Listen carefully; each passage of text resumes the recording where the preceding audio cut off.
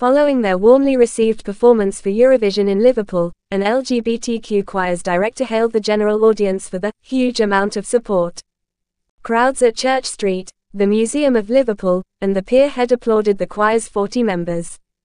Cheshire's Proud Marys performed a medley of quirky and cheesy renditions of songs by artists ranging from The Real Thing to ABBA.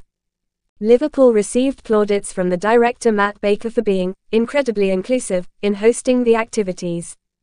We were given waterproof ponchos and sang in the pouring rain while we were at Church Street, according to Mr. Baker, 52.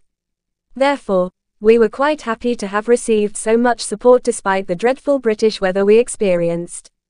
The choir, which was established in 2018 for solitary and senior LGBTQ individuals, even garnered thunderous ovation as they exited James Street Station while belting out ABBA tunes.